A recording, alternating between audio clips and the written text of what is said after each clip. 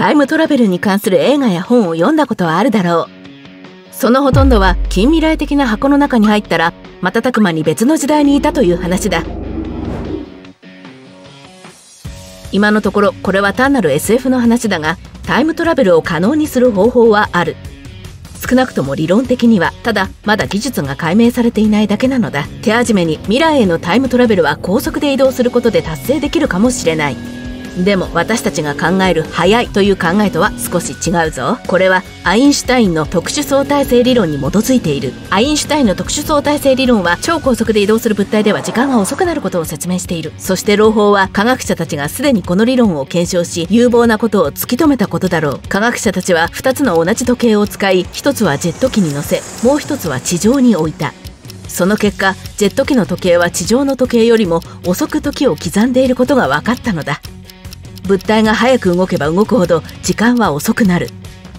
現在人間の技術によって達成されている最速の速度はニュートリノと呼ばれる特殊なタイプの粒子に見られる。ニュートリノの中にはほぼ高速で動くものもありこの速度では陽子の1秒は我々の11ヶ月に相当する。重力を使えば未来へのタイムトラベルもできるかもしれない。この考え方もアインシュタインの発見。すなわち一般相対性理論に基づいている。この理論では重力が強ければ強いほど時間の流れが遅くなると説明されている。つまり地球の中心に近づけば近づくほど重力の強さは増すということだ。そう考えると頭よりも足の方が時間の流れが遅いことになる。だから私はいつも遅刻するのか？いい言い訳だ。この効果は2つの同じ時計を使って同じ方法で測定された。科学者たちは2つの時計を異なる高さの棚に置き時を刻む速度を測定した。下の棚に置かれた時計は重力がわずかに強いためよりゆっくりと時を刻んだ。しかしこの方法には問題がある。遠い未来に旅行するにはブラックホールのような非常に強い重力のある場所を見つける必要がある。ブラックホールとは光さえも逃れることができないほど重力が強い宇宙空間の点でそこでは重力が非常に強くなり物質が小さな空間に押し込められる。ブラックホールに近づけば近づくほど時間の流れは遅くなる。しかしブラックホールを経由する旅は非常に危険である。片道切符だからな。ブラックホールの縁を越えたらもう戻ることはできないぞ。面白いことに私たちが携帯電話や自動車で使っている GPS システムは正しく作動するためにすでに時間拡張効果を考慮しなければならない。これは衛星の速度と地球上で感じる重力のためだ。これらの補正がなければ携帯電話の GPS は地球上の君の位置を正確に特定することができない。一方3つ目の選択肢は宇宙の未知の力というよりも私たち自身の体と関係がある。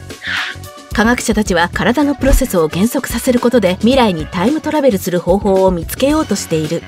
それ自体はタイムトラベルではないがもし体が長い間そのままであれば最終的には未来で目覚めることができる。という理論だ。クマやリスのように冬眠中に代謝を落とすことができる動物もいる。専門家たちは人間にも同じことができるかどうかを解明しようとしている。人間を数時間の短期冬眠状態にする方法を研究しているのだ。これは医療緊急事態の際にも役立つ可能性がある。2005年科学者たちはマウスを少量の特殊ガスにさらすことでマウスの新陳代謝を遅らせることに成功した。しかし同じことを大きな動物で行おうとしたところそれほど効果的ではなかった。時間旅行の4つ目の選択肢は実にユニークだ。それはワームホールと呼ばれる我々の宇宙に存在するかもしれない特殊な近道を使うことである。先に進む前にワームホールが何であるかを理解しよう。2つのボールとトランポリンを思い浮かべてほしい。トランポリンに圧力がかからなければトランポリンは平らなままだ。次にトランポリンの上に2つのボールが左右対称に置かれているのを想像してみよう。この視点から見れば2つのボールが接触する可能性はない。しかし2つのボールの間のトランポリンに十分な圧力をかけるとこの柔軟な生地は大きく伸び2つの物体が触れ合う可能性がある。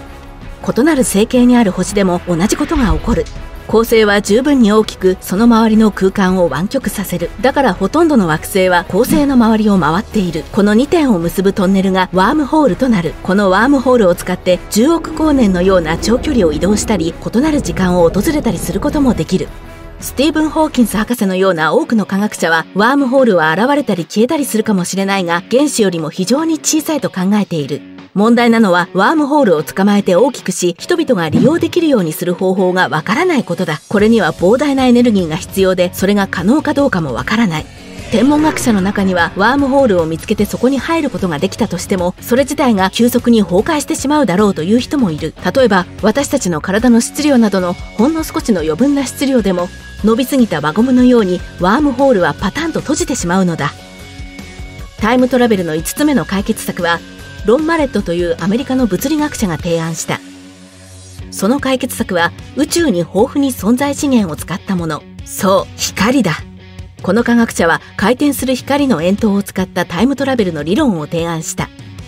彼はこの回転する円筒の中に何かを落とせばコーヒーに入れてスプーンで泡をかき混ぜた時に泡が動くのと同じように空間と時間の両方を動かすことができると考えている。マレットによれば円筒の形状が適切であれば過去にも未来にも行ける可能性があるという。この物理学者は自分の理論を検証する実験のための資金を集めようとしている。この実験では回転するレーザーを円形に並べた中に中性子という微粒子を落とす。しかし他の科学者たちはマレットの理論は不可能でありこれ以上テストする必要はないと言っている。仮に過去や未来に戻る方法が見つかったとしてそれは安全なのだろうか。科学者たちは長い間タイムトラベルのパラドックスと呼ばれる問題について話し合ってきた。主な疑問は過去に戻って未来を変えるようなことをしたらどうなるかというものだ。しかしクイーンズランド大学の研究者による新しい研究によればこの問題は結局のところ現実のものではないかもしれないとのことである。科学者たちはいくつかの計算を行い過去に何かを変えたとしてもタイムラインは同じように終わることを発見した。この問題の別のバリエーションは親殺しのパラドックスと呼ばれている。過去に戻って自分の祖父が子孫を残せないようにすることを想像してみてほしい。考えてみればそれは自動的にそもそも自分が存在してはいけないことを意味する。あなたの祖父母があなたの両親を産まなかったら結局のところあなたはどうやって存在できるのだろうか。だが科学者たちはたとえそのような経験をしたとしてもあなたはまだ現在に存在していると確信しているというのもすでに存在するタイムラインは人々が時間内のどこにいて何をしようともそれ自体を調整する方法を持っているからだ。あるいはデロリアンを手に入れてマーティー・マクフライのようにタイムトラベルするしかない。